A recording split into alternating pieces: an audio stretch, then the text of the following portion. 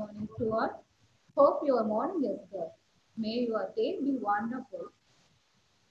Everything is designed. Few things are designed and because of Department of Information Technology, I welcome you all for this wonderful occasion.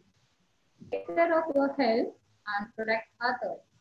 Follow basic protective measures against COVID-19 safeguarding our mental health in terms of COVID-19. We believe everything can return to the normal as quick as possible. The key to growth is the introduction of higher dimensions. I would like to share about a few dimensions of our institution. Idhaya College for Women was established in the Jubilee year 2000, run by the Franciscan Sisters of the Immaculate Heart of Mary Congregation, Pondicherry affiliated to Bharathidasan University, Tiruchirappalli. Our college is recognized by 2F and 12B of UGC Act. It has a good number of students, about 3,250 pursuing 10 undergraduate, 8 postgraduate, 8 research programs, and 1 doctoral program in Tamil respectively. The college aims at training the young woman strives to sound wonderfully and excel as a perfect model of womanhood. Next, I would like to share about our department. The Department of Information Technology was established in the year 2001. We have produced 500 degrees holders till now.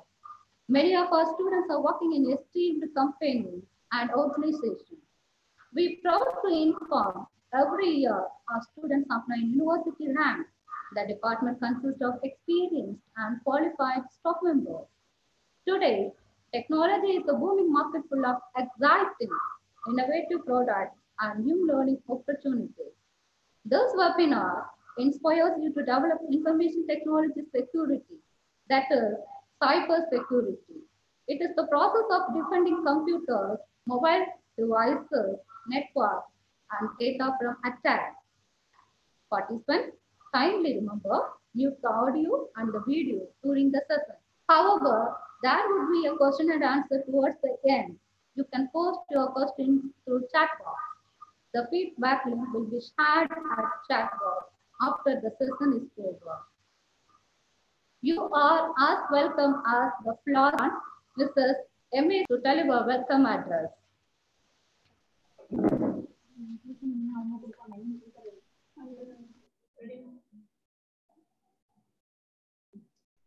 God will make a way when there seems to be no way. We can't see God, but we can feel His presence. Yes, we all feel His presence by this good day and good life and the strength He gave us each day and for all the people around us. I begin my welcoming with the blessings of Almighty. We can have a good teacher, but if we don't have a good principal, we won't have a good institution. Yes, we are continually impressed with your ability to unite your campus. Your long hour and hard work makes such a difference to ensure the learning and growth of both of our staff and students.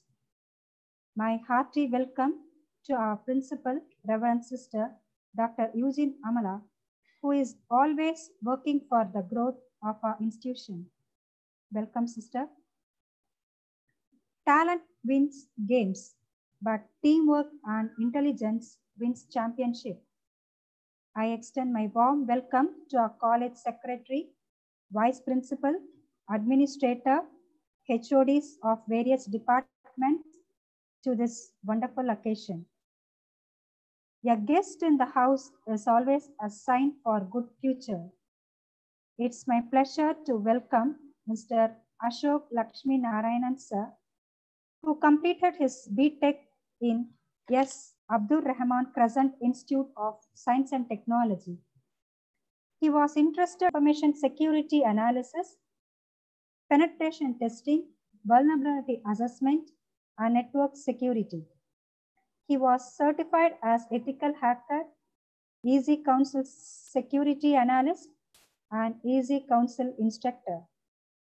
At present, he is working as a trainer in Cybic Technologies Private Limited, Chennai. We are very proud to welcome you, sir. It is a true pleasure for me to welcome Mr. Ramachandran, sir, Managing Director of Cybic Technology, who is an EC Council authorized training partner and exam center. Welcome, sir. The road to success is always under construction. It is also an honor to welcome our staff members of all departments to this special occasion. Success is where preparation and opportunity meet.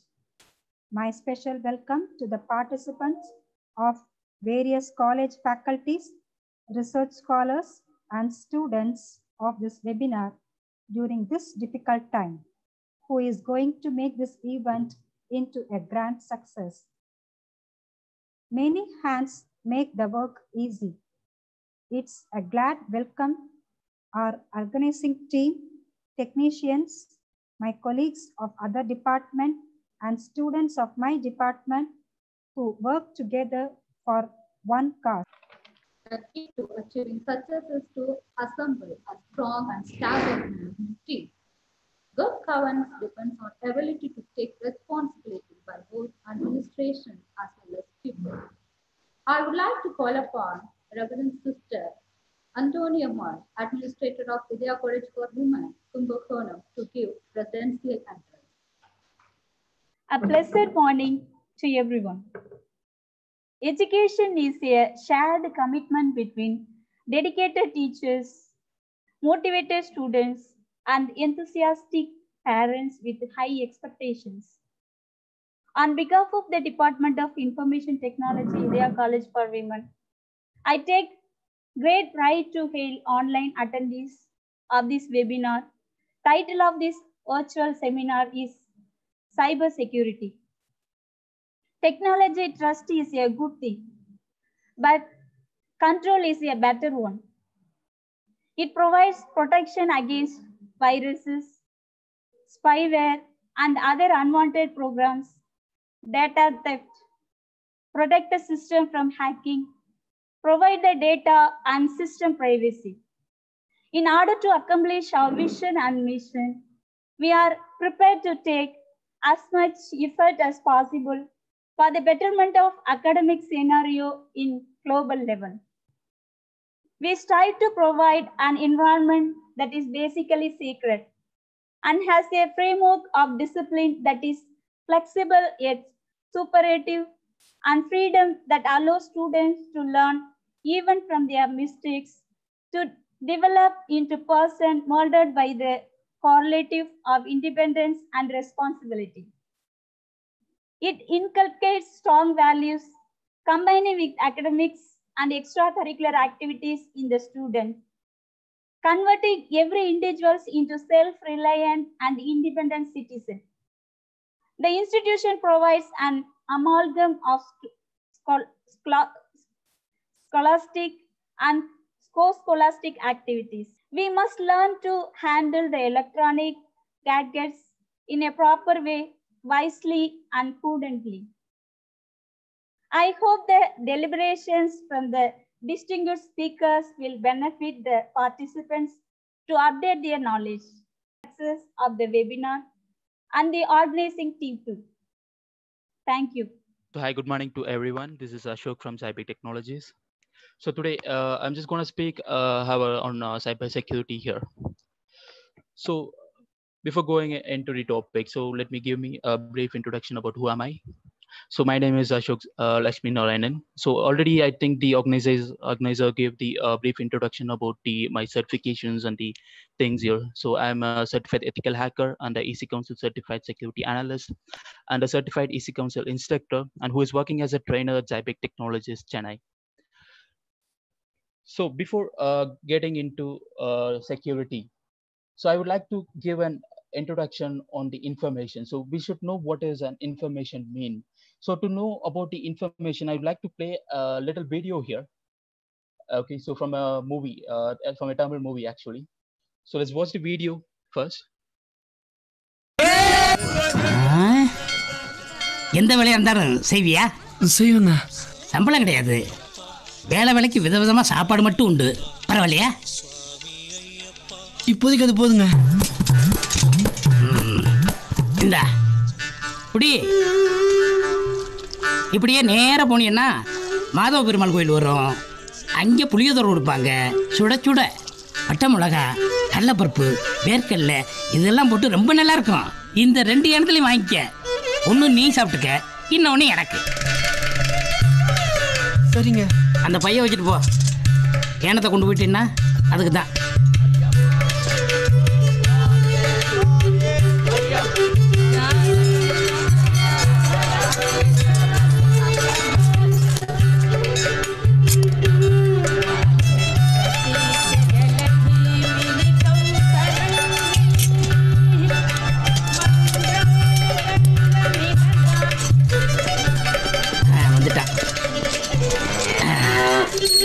உட்கார.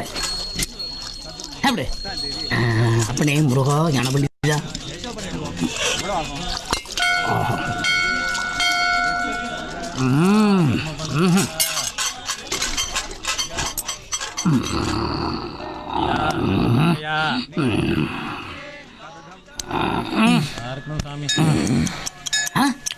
டே தம்பி எந்திரா. Time ஆச்சே. இந்தா இதை புடி புடி. தைரியங்க. இன்னைக்கு என்ன கிழமை? சனி. இப்போ அசோக் நகர் ஆஞ்சநேயர் கோயிலுக்கு போனீங்கன்னா இஞ்சி கருவேப்பிலை போட்டு இளஞ்சூடா தாளிச்ச தயிர் சாதமும் ஓட்ட போட்ட உளுந்த வடையும் கொடுப்பாங்க. ரெண்டுத்துலையும் வாங்கிக்க. ஒன்று உனக்கு ஒன்று எனக்கு. சீக்கிரம் போ. தீந்துற போகுது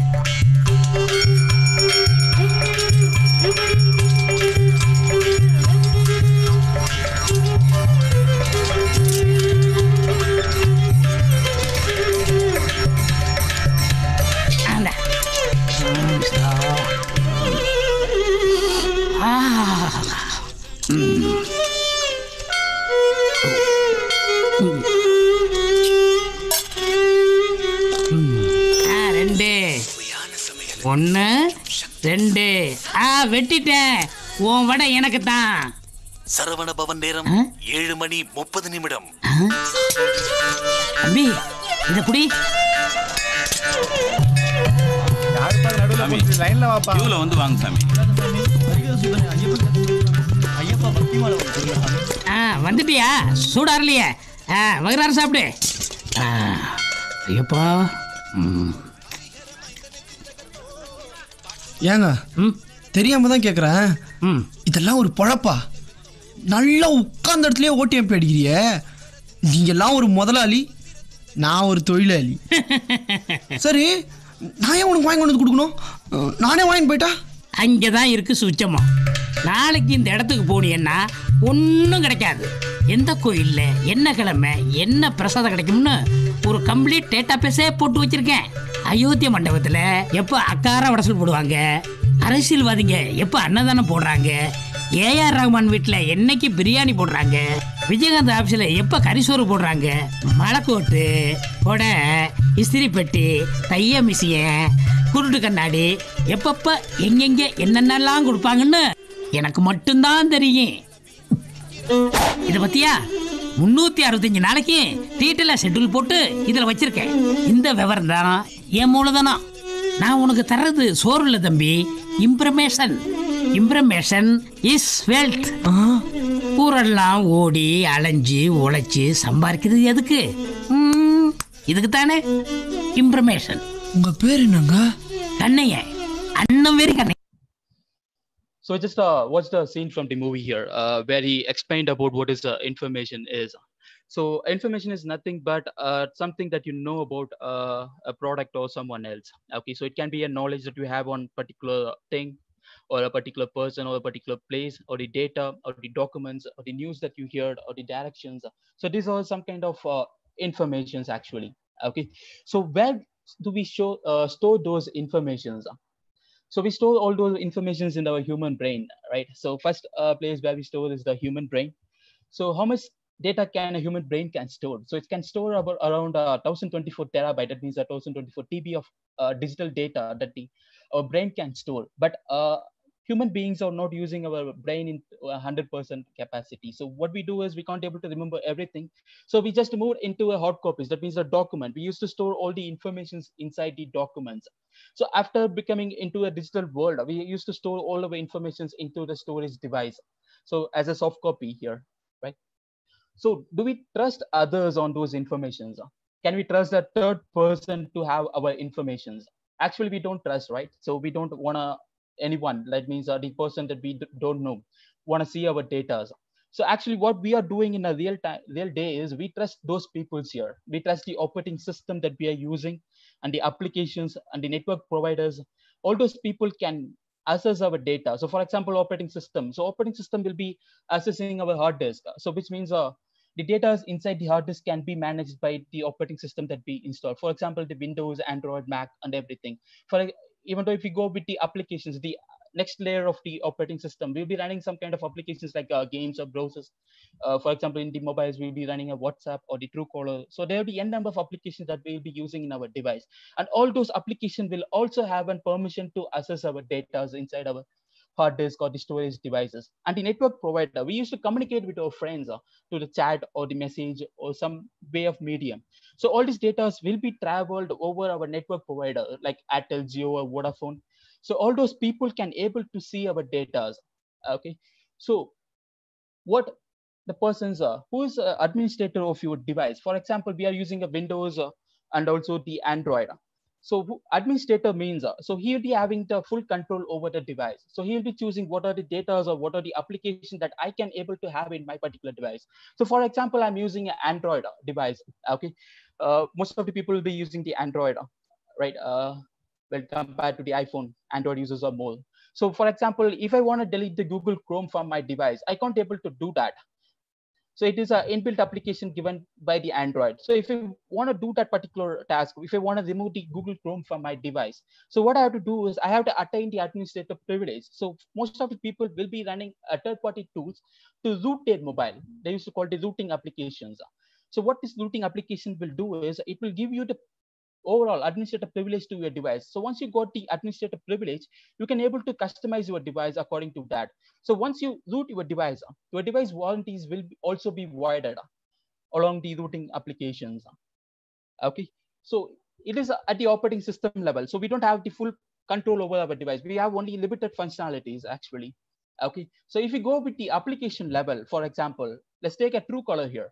So Truecaller, we use a lot of people should be using. I'm not sure how many people are using uh, Truecaller. So if you have used before, you may know that uh, whenever we try to call a person, we will get a name in the application, right? So we submit a mobile number and the name only to our service provider. For example, if I'm using the Airtel, Airtel will know my name and the mobile number which I purchased from the Airtel, and the Vodafone, Jio, and all those peoples will be there. So all those informations are, are stored in their particular ISPs. So what the Truecaller is doing is he has to collect some database uh, which has the particular uh, mobile number and the name linked to the particular mobile number. So what they did is they just launched the application. So whoever installed the particular application, okay, so here we can get it in the uh, Google search here. Okay, it's called as a crowdsourcing of the data. Okay, so when we install the Truecaller application and we give the permission to access our address book, which means the contact permission. Whenever we install the application in the Android, it used to ask us the permission to access our cameras, contact, or file storage, and all those permissions we'll be giving to the particular application to access our data. So once we give the particular application, as part of the agreement uh, which the Truecaller is making to the end user. Whenever we install the application, right, they'll be using the terms and conditions and all those things. So most of the people will never go into that particular portion. We used to click the checkbox and we'll move to the next portion of the particular installing process. So according to the end user agreement, what the application is doing is it's up, updating the data at the last line here, right? The updating the data to the company server, which means your entire contact book, uh, that means the contact that you stored in your mobile will be uploaded to the particular company server so which is they're using it as a source of the particular data. Okay, so this is how they used to find the particular name linked to the particular mobile number. Okay, so what about the only not only about the true Truecaller, let's take the Google here. So Google is a top company, right? So what are the information that Google have about you, right? So when you use the Google service, for example, okay, for example, some kind of uh, things that they used to collect according to the service. So for example, the first point is the things that you search for. So you, if you're using the Google search engine as a google.com, right? Whenever the, uh, you type or search for something, they used to collect those informations. So what are the things that you search on the Google? They used to store those informations and the videos you watch on the youtube what are the videos that you watch on the youtube it also be collected by the google and the ads that you visit your location when you use the google map they used to collect your location informations and the website you visit. So when you're using the google chrome application it can able to uh, monitor all the website all the urls that you're visiting and the application browsers that you're using on the uh, android device. Android belongs to the google right? So all the application browsers that we're using on the particular device google may able to know all those things. Not only this particular informations but there are a lot of other information that the google will be uh, getting from you. For example if you want to know what are the information that the google is having about you you can just go inside the google data transparency. You can just google it. You'll get a first link here safety.google so when you enter into the particular domain they will give you the information that the google has about you. So this is the service. So for example when you uh, run any kind of service, these are the information that the Google is collecting about you. When you install the, uh, for example, when you register for a Google account, for that means the Gmail ID, they used to collect all those informations that the uh, name, date of birth, gender, password, and all those information. Are n number of information that the Google will be collecting. So why they collecting all those informations? They used to say uh, in the below here, this data will be used to uh, Google service more useful for you. For example, if you're using the Google map when on your mobile, your phone will be sending a bit of data about your location back to the Google. So for example, when you're moving in the road, so Google used to collect all those informations about your location. So how fast you are moving on the particular direction. So based on this particular data, they used to calculate the traffic on the particular area. So this is how the Google map is working actually. So the data will be given by the particular users, end users from each and every device, the Android device or the iPhone. What are the things that we're using? That application will be giving the information about the particular location to the Google server. So not only for this purpose, actually they're giving the uh, YouTube and all those things will be there. A lot of things are they'll be given here. So one more thing, what they do is they use it for the advertising purpose also. All those information, they're using it for the advertising also. So whenever we run an application on the Android, right? So we used to get a pop-up applications for a minute or something. So all this advertisement also given based on this particular information. For example, uh, they used to give the advertising based on the location of the particular user, age, gender, and the device, which kind of device that you're using. So all those informations are collected by the Google. So if you want to know what are the information that really the Google is having about me, you can just log into my account.google.com. So once you logged into with your Gmail address, you can able to get all the information. So once you go inside my account.google.com, inside the data and personalization, you can drag down uh, a little bit to go to your Google dashboard. So once you enter the Google dashboard, it will be calculating, gathering all the data that the Google is having about you. Okay, so it will be saying the Gmail conversation, what are the conversations that you're having and your map location. And for example, what are the devices that we're using? So I, actually, currently I'm using the Samsung device.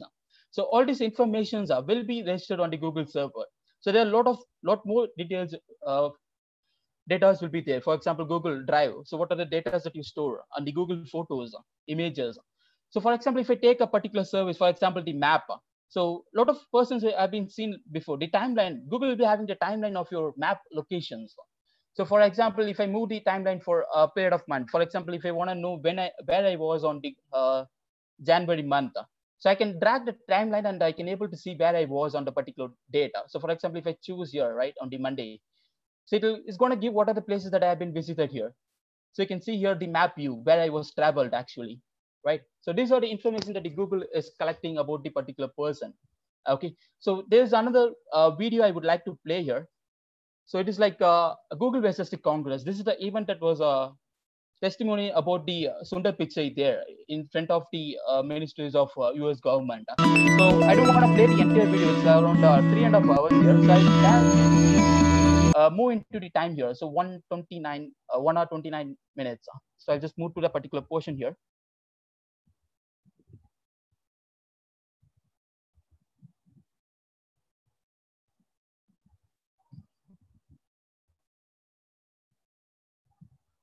But we have invested a lot over the years and we do make it uh, very transparent and we encourage users to go check it out. And in fact, every day 20 million users go and check it. And over the last month, around 170 million users did uh, check it. But we're going to continue and invest more in this area. Thank you. Are you back. The chair recognizes the gentleman from Texas, Mr. Poe, for five minutes. Thank you, Mr. Chairman. I'm over here on this side. I have an iPhone. And if I move from here and go over there and sit with my Democrat friends, which will make them real nervous, does Google track my movement? Does Google, through this phone, know that I have moved here and moved over to the left? It's either yes or no. Uh, not by default. There may be a Google service which you've opted into use, uh, and if so, Google knows that I am moving over there. It's it's not a trick question. You know, you make a hundred million dollars a year, you ought to be able to answer that question. Does Google know through this phone that I am moving over there and sit next to Mr. Johnson, which would make him real nervous? It's his question. It's yes or no. I wouldn't be able to answer without looking at. Uh, you can't say yes or no. Uh, without knowing more details, sir. If I walk over there and sit next to Mr. Johnson and carry my phone, does Google know that I was sitting here and then I moved over there? You're welcome anytime, Judge. yes or no? I genuinely don't know without knowing I'm what shocked you don't know. Um, I, think Google obviously does. Are you familiar with? So that's the video actually. So he was asking about the uh, device uh, actually. Uh, he was using an iPhone. So he's using a kind of a Google service. So can Google able to track me when I was moving from one place to another? So he doesn't say yes or no actually, right? Sundar Pichai, uh, the CEO of Google. So what actually is here is uh, without knowing more details about the service that we're using. So if you're using any kind of Google map or something, then they may able to track your movement actually. Okay, that's what he was saying. So this is uh, one of the purpose that the Google was using. That's what I uh, showed you before. Uh, why they are using collecting those informations actually for the advertising purpose. Okay, let me move to the next one. So what we are moving into the security here. So for example, security means uh, we are going to protect our asset. For example, the hardware, the computer system that we have, the software or the data that we stored in our computer system from the theft or illegal access or illegal change or deletion. So that's what we are providing in the security, in the IT security. So if you move into uh, security terms, uh, they will be divided into uh, different categories. For example, information security, cyber security, computer security, and network security, and a lot of more terms will be there. For example, information security means it includes all the assets. For example, if your data are stored as a document, okay, so it will also be considered inside the information security. If you move to the cyber security, it will concentrate only on the particular device or the digital data that are communicating over the network. So only those portions will be covered on the cyber security. If you move to the computer security, it will be concentrating only on the standalone machine, which means that systems that are not connected to the network. So these are the different terms that they use uh, inside the securities. Okay, so if you move further, so they'll be telling the key features of the information security. They used to call as a CIA triad. So which means the confidentiality, integrity, and availability. So confidentiality means, uh, for example, if I own some data, so I'm the only person who is authorized to use the particular data or the information. So without no other person, the unauthorized person should not access my particular data. And the integrity, so unauthorized person should not modify any data as belongs to me. For example, if I'm communicating with my friend, I'm sending a text message, hi or something. So in between, the data is traveling over our ISPs. So for example, I'm using the Airtel. So someone in the Airtel may able to change our data. There's a possibilities out there to change our data. So it should not be happen. So integrity will be providing that particular functionality. And the availability will be the authorized person should use the particular service whenever he need them.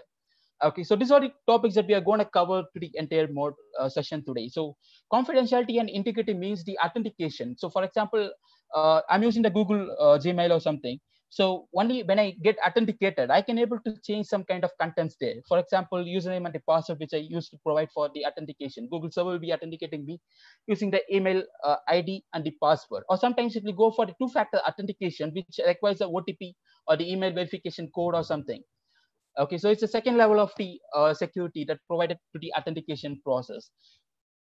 Okay, so if we move into the security threats, uh, so vulnerabilities, malware, social engineering, DOS, and there are a lot of threats that are there to the particular system. I'm not going to speak of every threats here, so I'm going to take only the particular uh, topics. Uh, okay, so vulnerability. So if it go into the vulnerability, so vulnerability is going to be the particular uh, drawback or the flaw or the loophole into the particular computer software, which makes the attacker to enter into your system. Okay, so for example, uh, let's take uh, a CVID of 2019-356. Uh, this is the vulnerability that uh, WhatsApp was having on the uh, 2019. So if you want to detail more details about that particular thing, right? So WhatsApp will be giving an update like this. So whenever we used to update the particular application, right? So they used to say what is a new thing that was there in the particular application. So they said that uh, a security fix for the CVE ID 2019 and 356. So what does this particular vulnerability means? If you want to know about the vulnerability, you just go and search the particular uh, CVE ID in the Google. Okay, so if you search for the particular CVE ID, you will be getting some kind of uh, sites like this. So for example, um, the NVD. So NVD is known for National Vulnerable Database. So we should be having the vulnerabilities about each and every applications. So for example, if I go inside the mitre.org, we'll also have the vulnerable database there. So here it says that buffer overflow vulnerability on the WhatsApp, okay, which are, allows the remote code execution. So what's the remote code execution means? Uh, it is the vulnerability that uh, helps the attacker to gain over the gain over access to the particular system. So he can able to install a malicious software into a system, which gives the entire control to the particular attacker. Okay, so if a vulnerable application is running on a particular device, which leads, which will help the attacker to gain the access.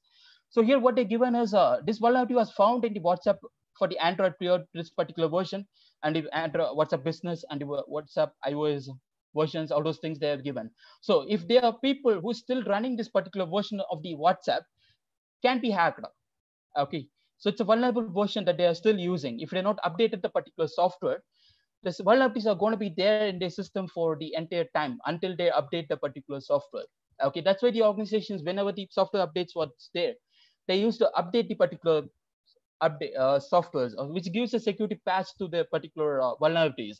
Okay, so the only way to overcome this particular uh, vulnerabilities is to update the particular softwares, or else uh, some people will be when they find the vulnerabilities on the application, they used to stop the entire application itself.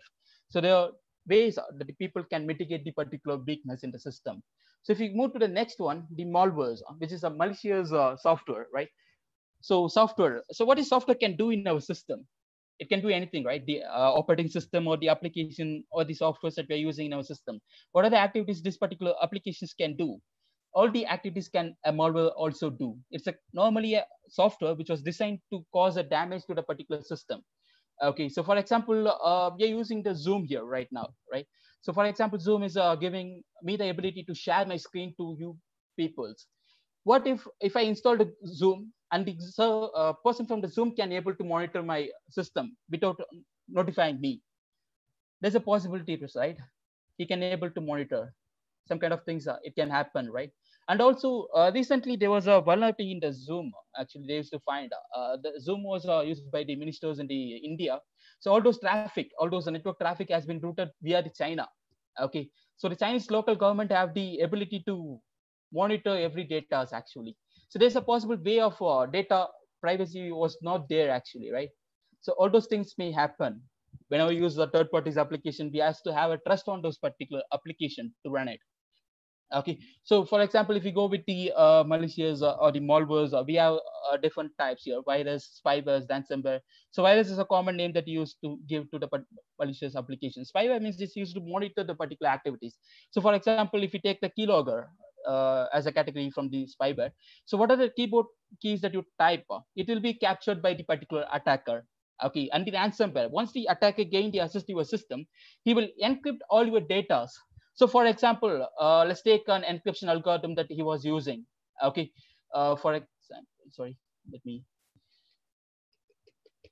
For example, the ransomware, right? Uh, if he gained the access to your data, he's used to encrypt your data. Okay, so once the data has been encrypted, you have to decrypt it using the key. For example, if I, if he is using the AES algorithm, okay, so if you take the advanced encryption standard they used to call, it is a cryptography algorithm that they use to secure your data. Okay, this key size, minimum key size. This means uh, if you're not familiar with the cryptography, the key, uh, you may consider it as a password. password to secure and used to view your data. Okay, so key size is the length of the password that you have. So if you want to crack that particular key, okay, that means the password of the AES, it will take around 1 billion billion years to crack it, even with a supercomputer. Okay, so that's why if the ransomware has been attacked by the particular organization, there'll be a lot of uh, data has been compromised. So which means the attacker can able to read the data or he can able to block the data without a, like it can affect the availability of the particular data to the organization. So no one can not able to see the actual data what they're having in their particular system. Okay, so recently what they did is uh, the hackers was uh, pointing like uh, taking the target uh, as uh, photographers, the studios that we have, right? They used to target those uh, photographers. So they're encrypting all the photos they have collected from the functions. So once their photos has been ransomware, that means uh, encrypted, uh, he can't be able to print or do any kind of activities. He can't be able to modify or do any kind of thing. So he has to pay the particular money to the person to get the decryption key. That means the password to open the files. So that's what happenings in the recent days in Tamil Nadu actually. So ransomware attack was uh, taken uh, targeting the particular photographers recently. Okay, so if we move into the social engineering, so this is an interesting topic actually. So what the people will be doing is uh, psychological manipulation of people to perform some kind of action or disclose the confidential information here. Okay, so psychological manipulation is uh, there are a lot of techniques that they use. Uh, for example, if you go with the uh, human-based attack like tailgating, uh, if someone is entering into the authorized space, I'll be going along with him before the door closes. Shoulder surfing, so which means uh, whenever we type the passwords, right, the person will be monitoring from behind. So for example, like this, um, so in this way, so whenever we use the mobile phone, the person will be monitoring as what we're typing. So this is the reason actually the bank will, uh, ATMs, we used to see in the ATMs, right? One person at a time. So what they do is uh, no one from the beginning should see your uh, PIN number, which you are typing. So that's why they have the cover over the keyboard keypad also, right? So this is the reason that they're using actually. Okay. So if you move further, the bribe. I used to pay someone to do some kind of functionalities. For example, if I need some kind of data or the information from the organization, I'll pay the money. I'll uh, offer some kind of money to the employees to bring that data for me in, from the, inside the organization. Okay, so bribing, and there are a lot more terms will be there on the human-based attack. If you move to the computer-based attack, phishing, vishing, smishing, all those categories will be there. So these are uh, categories that we used to do the fake kind of thing. For example, fake website, uh, which used to look realistic as a Facebook or something. So when the user gives the credentials on that particular page, we can able to capture those data. Your username and password will be captured. The page looks exactly like Facebook, but it is not. Uh. So if you want to confirm the particular page belongs to the particular uh, domain or not, we have to look at the URL which we are loading at, the domain name or the URL. Okay, and then the vishing means the fake uh, phone calls. So nowadays we used to get a call from uh, like uh, we are calling from the bank. I'm the manager speaking to you. I want to verify your card details. So can you please share your details and the OTPs which you get on your mobile. So all those informations will be the vishing thing. Okay, so phishing over the voice, uh, over the phone calls okay and this and then the smishing is the sms fake smss like sms we get like you want this much of money so you just uh, want to pay like a thousand rupees to get the uh, one lakh rupees or something so when the people pay they will uh, block your number or something like that okay so and then uh, media dropping which means i will drop some kind of uh, pen drive or something uh, in your vehicle or somewhere where you can find that particular device. So when you install the particular device, a malware from the particular media, that means, for example, let's take a pen drive. Okay, so when you install the particular pen drive, it will affect your system. Okay, so a lot of things that will be done using the social engineering. So I want to show you the example for the vishing here. I would like to uh, give a sample vishing uh, video here. Okay, so let's uh, watch this video.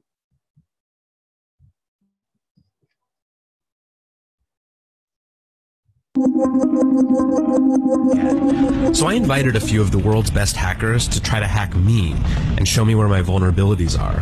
And now I'm going to meet them in Las Vegas for DEF CON, the biggest hacker convention of the year. They're going to hack me using social engineering, which is essentially hacking without any code. They just use a phone and an internet connection.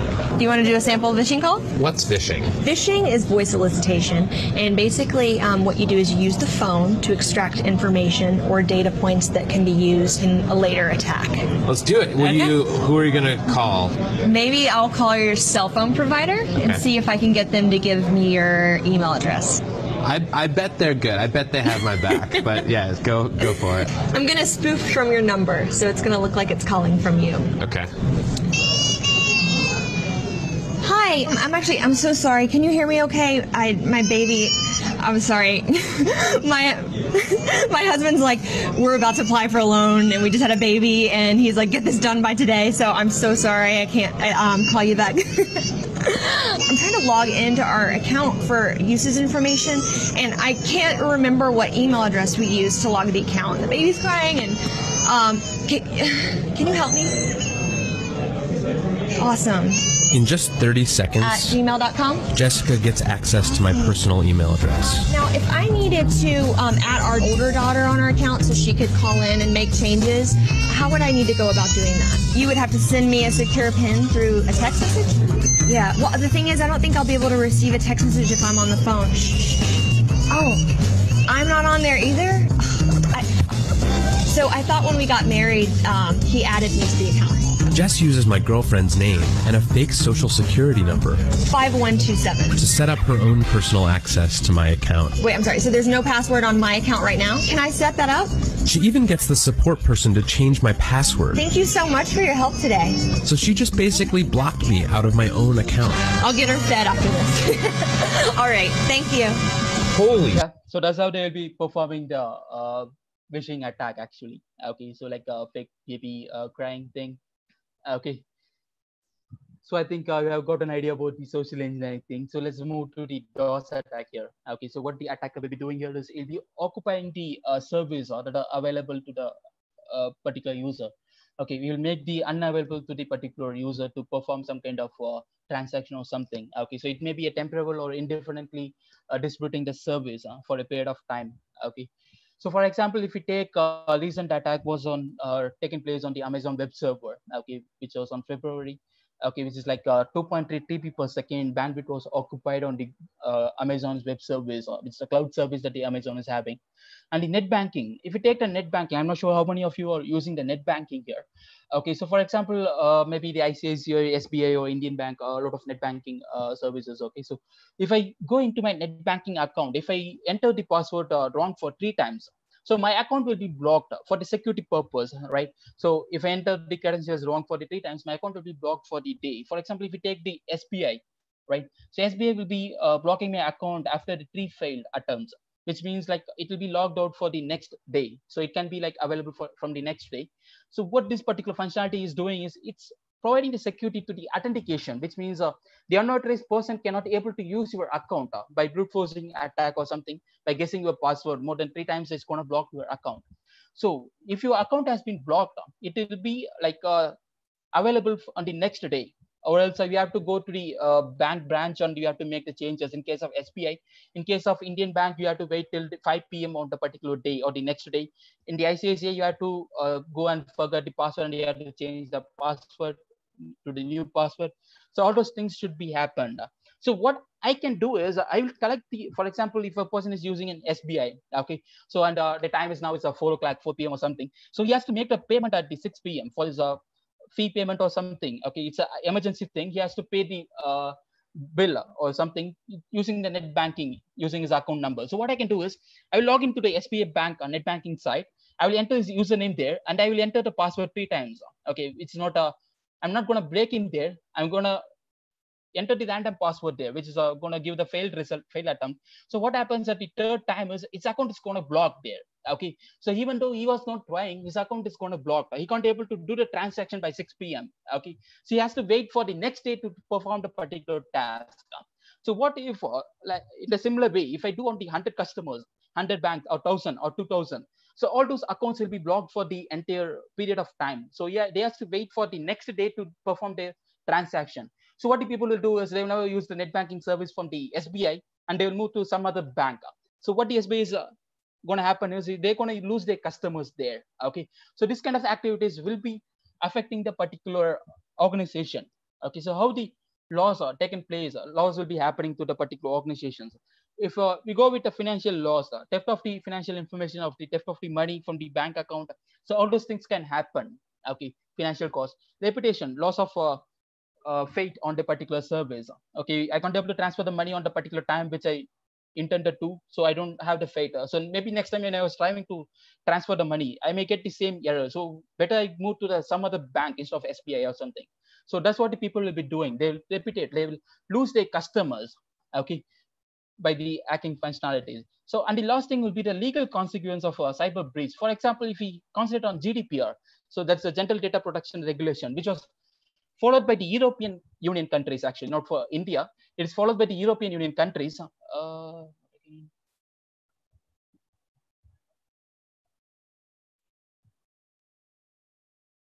okay, so if you go with the GDPR here, so it has a lot of fines and uh, things are there. Okay, so for example,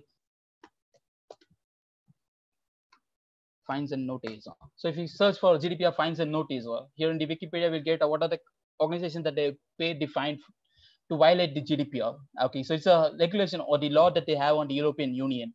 So to protect the data protection of the particular uh, peoples within the particular uh, country. Okay, so for example, if you take here uh, the hospital, which has paid around uh, 400 uh, 400,000 euros. Okay, so for what is a access policy to the database, which is allowing the technician to access the patient's uh, informations. Okay, but the, there is no proper authentication to the particular system.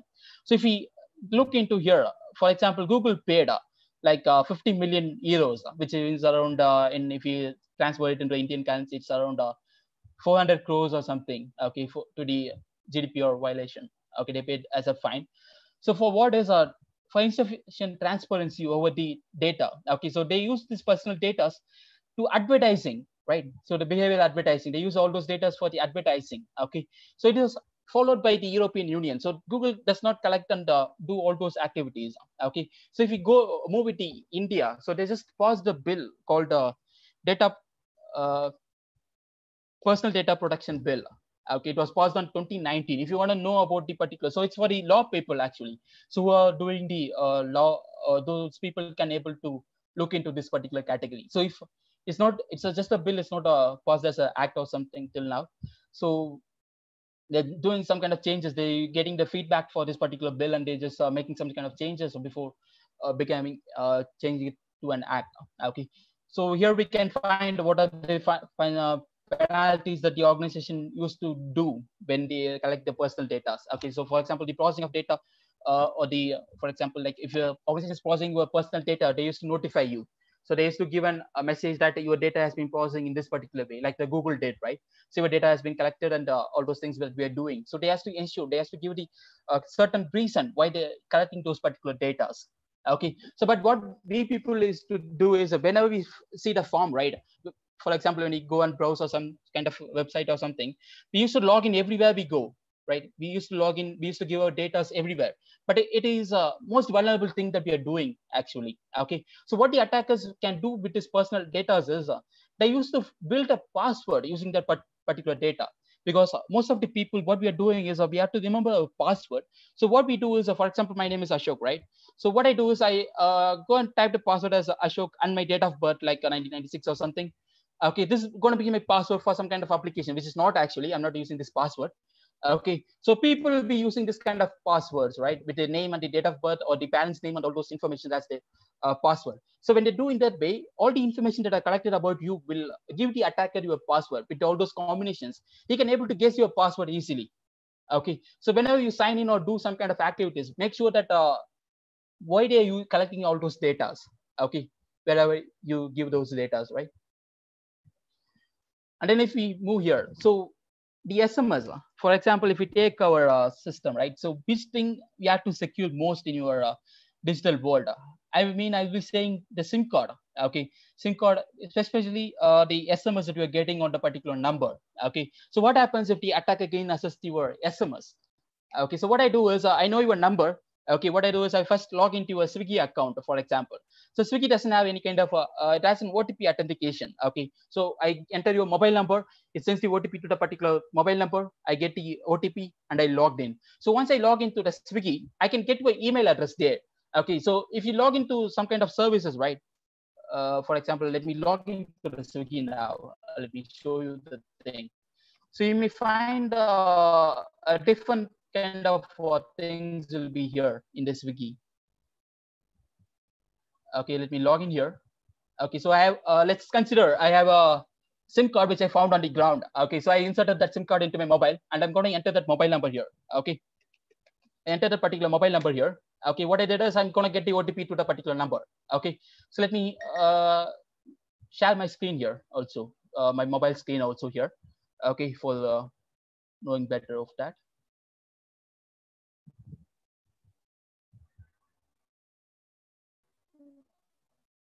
Right. Okay.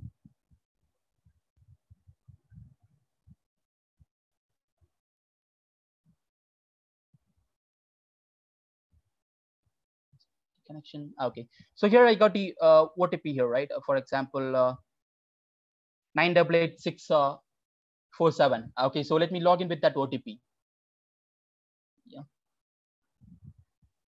988647 okay if i verify the particular otp what happens is i can go into my profile here. Okay so i can go into my profile. I can be able to get the person's email address here. For example i don't know i know only the mobile number. So using the mobile number i got the otp to log into the swiggy. Now i got his email address here. So what i do is i log into the gmail right? So next thing what i do is i go to the gmail.com and he enters uh, mail id there. And i don't know the password. What i do is i'll go again into the forgot password and i request for the otp again right? So i can request for the otp and i can able to gain access to his uh, gmail account also. So this way so it will be connected. Overall system will be connected to your mobile number. Okay so which means uh, the most secure thing that you should have is your sim card or the sms okay so you should secure sms most uh, than any other thing. Okay so if you change your email id with the otp if you change your password of your email id everything for example facebook if you take the facebook your gmail id will be used as a username and the password. I can able to reset your facebook password also there using the gmail id there right? Forgot password enter the gmail id get the uh, password change link to my uh, link to your gmail id change your password log into your facebook profile. And all those things can happen. Not only the facebook entire service that you're registered with that particular gmail id email id i can able to compromise everything okay? So if you lost the sim better you call the service provider and block the sim okay? That's the first step that you have to do. If you not find your mobile for more than 10 minutes or something first thing you have to do is uh, block your sim card. Okay so the person cannot able to access your mobile number or anything. Okay. So if you lost in the public place call right away. Okay. That's the recommendation that i give actually. Okay so how the attacker can get into a sms or in the alternative ways? For example the malware right?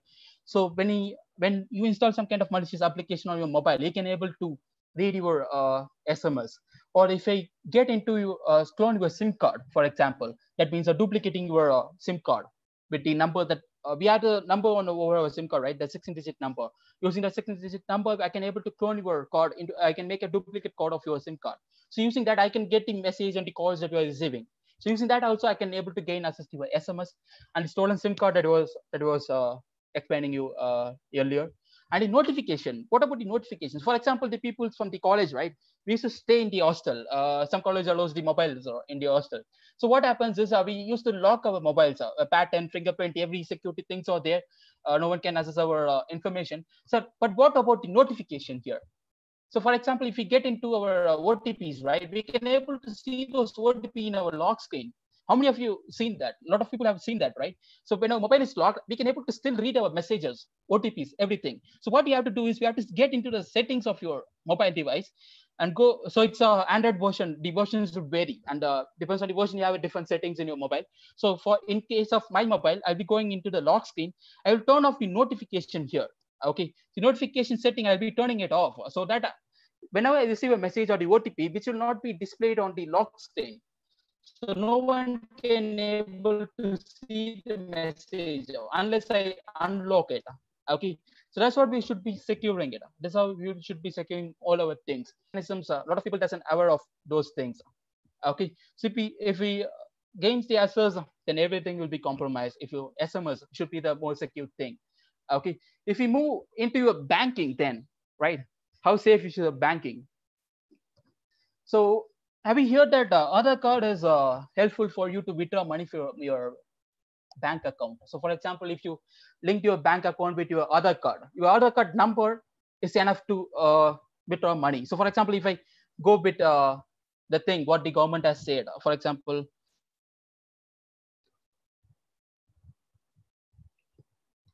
uh, let's take uh, Aadhaar card money withdrawal. Okay, so you can go inside the Uday, right? Uday.government.in, which is the government website. This one is the government website actually. Okay, uh, the UPI or the other quarter page actually. Okay, so what they're given here is, uh, for example,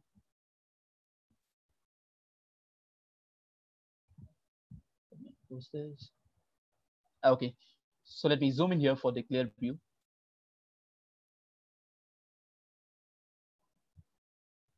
I think it's not zooming in. Uh, okay. So here we can see like, uh, just like uh, knowing your bank account number, no one can withdraw the money from your account. Similarly, like knowing your Aadhaar number, no one can withdraw the money from your Aadhaar linked bank. Okay. So which means, for example, like banking or something, you need to register. Like for example, you need to get the debit card or uh, signatures or PIN numbers or OTP to withdraw the money from your account. Okay. That's the authentication that the bank is doing to withdraw the money from your account that means your signature or the debit card and the pin number or the otp so which means like something you have something you know something you are. That's what it is uh, the two factor authentication. Okay so something that requires about you to withdraw the money from your account. So for example if you take the Aadhaar card okay so Aadhaar card and your fingerprint or the iris or the otp again the otp the sms sent to your mobile number is enough to withdraw the money from your account. If you, you lost your mobile number along with the Aadhaar card mobile uh, sim card with the Aadhaar card it is gone. And what about the fingerprint? How about me cloning your fingerprint. For example let me show you the another news okay which is like uh, happened in 2014 actually okay. Uh, let me open up BBC uh, news here okay. So the hacker was cloning the uh, fingerprint of the politician politician okay. So it's a BBC news here okay. So it's on the bbc.com so what the particular hacker did is uh, he was uh, cloning the fingerprint of the particular uh, politician from his photograph. Okay, for example, the politicians are uh, speaking on the uh, public meeting. Okay, they're showing their hand on something. So what he did is he captured the picture of their fingers. Okay, and then from the picture he was uh, cloning their uh, fingerprint. Uh, okay, so for example, the face recognition, which is like AI, right? So using that, he will recognize your fingerprint and we can able to make a duplicate of that. Okay it was happened on uh, 2014 this news was on december 2014 okay it's almost six years back. Okay so now they have implemented the uh, Aadhaar card with the fingerprint. So how technology has been developed for the past six years right? So they can able to easily clone your uh, fingerprint. For example if you're going to the photo uh, Xerox shop or somewhere you give your Aadhaar card to make a copy of your Aadhaar card right? So what they did is uh, they can able to take your fingerprint from the card that you are holding from your hand right? Aadhaar card fingerprint they're having and the Aadhaar card number they will be having. So they can able to easily withdraw the money from your account. Okay. So what the government did is uh, they said that Aadhaar card is not mandatory to link with your bank accounts. It was paused actually. This uh, Supreme Court, I think so. I'm not uh, uh, having the more detail on that. The Supreme Court has paused that uh, the Aadhaar card is not mandatory to link with your uh, bank or the service providers. Okay. So what you can do is you can go to your bank and ask them to stop this particular mechanism. That means uh, I don't want to withdraw money using Aadhaar card. I can use my debit card or something. I don't want to use my Aadhaar card to withdraw money. Okay, so what they can do is they can block your Aadhaar card or something so that your other uh, banking will be secure a little better. Okay, so and then if we go into the payment gateway, like uh, the online transaction that we used to do, right? I like to give you the demo here, for example. Okay, so what I did is I'm going to purchase some kind of uh, product here. Okay, so what I do is uh, let me go with the uh, mm, some kind of uh, page. Uh, for example, let's go with the EC Council. Let me choose a minimum product with the foreign currencies here. Okay, so let me go with about So, and let me purchase some product here. For example, let me take, uh, mm, okay, $1, it will be better. Okay, I'm gonna purchase a thing for $1 here. Okay, so it will be added to my cart. Okay, let me proceed to my checkout. Okay, I'm gonna fill all my names here. option. I'm going to skip all the optional part here. So India. India address. University at You type anything.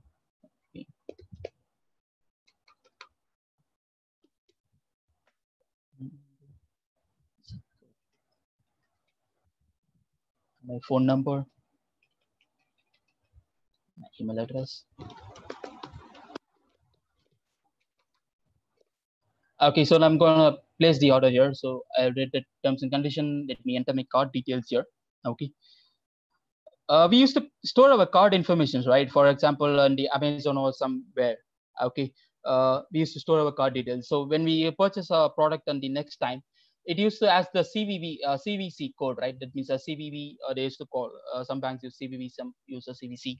Okay. So you, you go and type the different numbers here. It's a three digit number that you'll be having backside of your card okay you go and type a different number there. Okay see what happens there. Okay it will accept the payment. It's not a security mechanism that they're using. Okay so if you type the card informations or something it automatically gets you in okay so 11 24 and let me go with CV number. Let me place the order here Okay, so now what happens is it will be redirecting me to the payment gateway, right? So now from the EC Council page, I'll be redirected to the payment gateway, which means like when you're using the Amazon, uh, you click on the place order, it will take you to the payment page. So it will be a third party, someone will be using the third party or something. Okay, so here we'll be used to get the message uh, like uh, our uh, banking thing, right?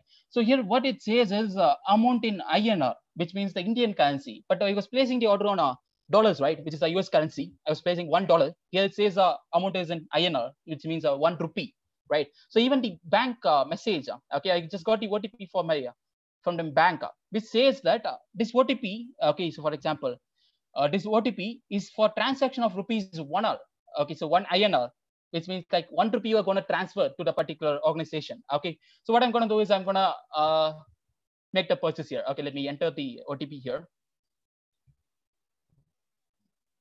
Five nine two one. Okay, after submitting it, okay, bank says it's like one rupee, right? So what happens after I purchase the particular thing? Okay, so it will be debited in dollars actually. Okay, so 74, 70 to 74. What is the uh, price now? It was uh, on the particular uh, time, right? How much the dollars was converted to the Indian rupee? It will be debited from my account. Okay, so that's what happens actually. Okay, so all those things. Uh, okay, so now I got the message. Okay, so see there's one. Uh, okay you spend uh, 74.62 on the particular debit card payment to the EC Council. So the otp says it's one rupee transaction but the amount went for 74 rupees from my account. Okay so while using the payment gateway be uh, sure that uh, it was a trusted payment gateway. Okay because the payment gateway will be working in this way. For example the working of payment gateway will be okay in this way. So you place the order on the online store. It will be redirecting you to the payment gateway and the payment gateway will request you to the bank account. You give the card information to the payment gateway. Payment gateway will uh, get the information about your card which banks it belongs to and it will communicate the payment to the bank okay? So what happens is once it communicate to the bank bank will send you the otp directly to the customer. And once what we do is we enter the otp to the payment gateway not to the bank here okay? The otp that we enter will be going to the payment gateway not to our bank okay. So whenever we used to see the url right uh, when we're placing the payment you check the url there. It is not the indian bank or the icici bank page. It is a page of the payment gateway. We enter the otp to the payment gateway and payment gateway will submit the otp to the bank and they will collect the amount from our bank. Okay that's what happens. So after a period of time they will make the payout to the particular merchant to the online store uh, parties. So that's why the reason that the when we place the order and we make the payment and if we need a refund it will take a period of time like seven days or uh, eight days. It depends on the online store because the payment has to be processed by the payment gateway to the particular merchant. After that, only he can able to reverse the payment. Okay, that's the duration it takes. That's the reason that you used to give like three days or for the refund or four days for the refund. Okay, so clear. So all those things are, for example, if we move further, right? Uh, most of you will be using an NFC enabled uh, debit card, right? Which means the tap and pay. Okay, it has a zero security in that particular card. Okay, so tap and pay. So anyone use the card, he can just go and tap it and he can debit almost like uh, maximum amount, I think the 2000 rupees, right? 2000 rupees he can able to withdraw without any kind of authentication. Anyone have your ATM card, they can use, go and tap it and make the payment for uh, 2000 rupees within the 2000 rupees. So that's what will happen and uh, that's what's happening in today's uh, environment. Okay, so So these are the course that we are offering actually. Okay, that's the end of the session actually. Okay, that's the uh, things that I want to give you, the ideas what uh, in this kind of a situation that we are living in today's environment. Okay, if you want to need a more further information on the information security, you can go and uh, do this kind of so courses like CES or ECSC. So all these certifications are global. Okay, which means it's valid internationally. You can go anywhere in the world. uh, the certificate will be valid. Okay, so you can do all these courses uh, from the EC Council to get more knowledge on the cyber security. Okay, so thank you for giving me the opportunity to share my knowledge on uh, the particular thing and I move back it to the organizer. Organizer. Okay. So if you have any queries, you can text a chat or anything if you want to know anything more about the particular thing. Okay. So we stop uh, stop the sharing here.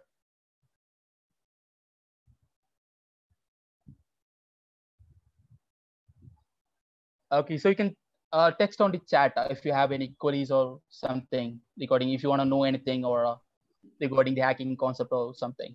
Okay. Yeah, back to the organizer. Thank you, sir, for in- informative and useful messages, sir. Here some questions are in chat box. How can we be sure about the website which is useful or fake? Which is uh, I didn't get. uh, Which is The website which is useful or fake, how can we be sure about it? useful or fake, uh, which means like the original or the duplicate one, Yes, right? So for uh, let me share my screen again here. Uh, for example, let's take. Uh,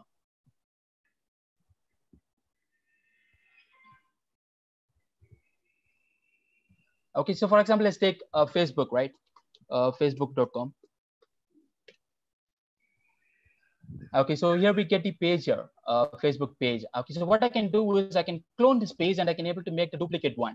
Okay, if I make the duplicate one, I can't able to run it on the same name here. Okay, Facebook.com. So what I do is I go into the GoDaddy or some online domain registry website, and I used to purchase the name that are similar to Facebook. Okay, so what I do is I go get into the GoDaddy.in. Okay, I will search for the some name related to Facebook. Okay, so what happens here is uh, it will list me the names that are related to the Facebook. For example, like uh, facebookpro.in, uh, facebook uh, fit.me, facebookpro.org. So this kind of domains. Okay, what I do is I purchase this particular domain and I'll be running the duplicate one on this particular name. So what happens is uh, when we search, right, when we click on the link, the domain name will vary on the fake one. Okay, the original one looks exactly like facebook.com. Okay, so the duplicate one will be a different name. For example, if I, uh, what the Facebook has did is they purchase all the names here. For example, if I go back here, okay, let me type a different name here. For example, FAC, BOVK.com, which is not a Facebook, right? FACE, I'm missing the E there in the domain name.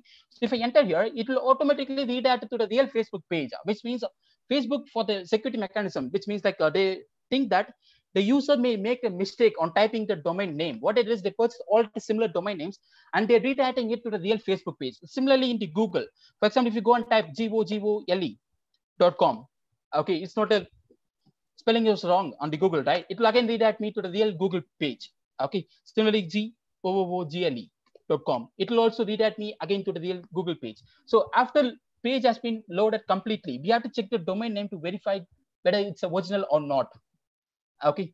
And uh, we can use a another tool called uh, whois.com okay which will give you the information on the particular domain name. For example if you go with uh, whois.com and we can enter the domain name here to verify whether it's uh, belongs to the particular organization or not. Okay it's called as a domain lookup. Here we can go and type the facebook.com okay the name that we get there while loading the page right? Facebook.com or something. Once we enter into that we can get here. Domain was facebook and rest register contact information. The organization name was the Facebook Inc. All right. So this particular domain name belongs to the Facebook. So this is the way that we can verify whether it's a legitimate or the duplicate one. Okay. Okay, thank you, sir. Thank you for your Next question, sir. Which one is safe for transaction, online transaction? Online transaction. Okay, if you use the debit card, right? Uh, so debit card or the credit card, there are a uh, lot of ways. Like uh, if you go and uh, purchase a subscribe for some kind of plan, right? Uh, let's take the Google service itself. Uh, if you're using the Android application if you want to subscribe for any kind of any application, you can submit the uh, card information to the Google Play to subscribe to the particular application. If you submit the card information, the money will be debited automatically. Only the card information is required. Okay. So what I prefer is you have to go with the two-factor authentication always. The uh, thing, for example, if you're going to transfer transfer some kind of money, you should have a two-factor authentication. Okay. So only with that particular mechanism, you can be secure. Okay. Two-factor authentication means something you know, something you have, something you are which means uh, like it requires a uh, ATM card and a PIN number to withdraw the money, or the ATM card with the OTP to withdraw the money. So it should require some kind of uh, two-factor authentication. Okay, which bank or the which card providing the two-factor authentication, you can use that. Okay, Okay, it will be secure. Okay, thank you, sir. What are the precautions to be taken to ensure safety while installing a mobile application? Mobile application we are installing, no? That time, what are the precautions we have to be taken to ensure? Uh, for uh, example, uh, if we take right, uh, what are the applications? For example, if we take on the organization level, not for the individual level. So if you take on the organization level, if they want to install some kind of application internally to the organization, what they do is they will run a malware analysis on the particular application, which means what they do is they will analyze the entire source code. So what the particular application is doing. For example, the application was built with a Python or C program. They will get the source code and they will analyze the entire line, what the particular application will be doing in my system, what kind of activities the particular application is doing. But as a user or the person with no programming skill, we can't able to predict what the application is going to do in my device when I install the particular application. So what we can do is we can trust the particular third parties, which means the antivirus software or anything.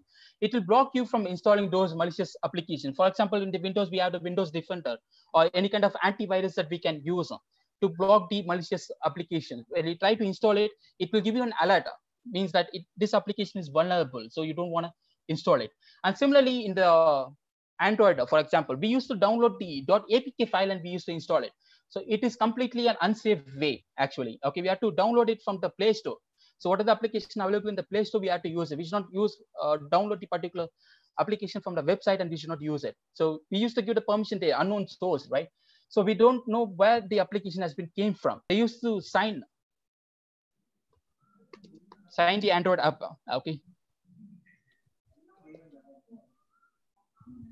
Android application, which gives the information about the developer. If your system has been compromised or anything, we can able to identify who the developer was. Okay, if you're downloading from the unknown source, we can't able to know that to whom we are communicating or thing. Okay. So in this way, it will be helpful in this way. So developer build a tool, he'll give it to the signing authority, they will sign it, and the Google will be giving it to the user using the Play Store. Okay. Thank you, sir. Today we learn how to use payment cards, how attacker can get our SMS, don't withdraw money from our bank by using other card. With fingerprint, our face is hacked, not purchasing, that is net purchasing. These are the things extremely good, sir. Thank you. It's time to propose vote of time. I would like to call upon Ms. Yamala, Department of Information Technology to propose vote of thanks. Good afternoon, all. Dear God, I want to take a minute not to ask for anything from you, but to simply to say thank you for all you give. Thank you, God, for giving me this opportunity and giving me the strength. I express my sincere thanks to our beloved principal, Reverend Sister Dr. Eugene Namala, who have been the rock of fabulous institution and have always provided us with facilities to excel in education. Thank you, sister. My sincere thanks to our chief guest, Mr. Lakshmi, Ashok Lakshmi Narayanan, who delivered such an enlightening speech and excellent presentation that left everyone in the webinar thrilled. Thank you so much, sir, for the great effort you put into the lecture. I extend my special thanks to our college secretary, vice principal, and administrator for their endless support.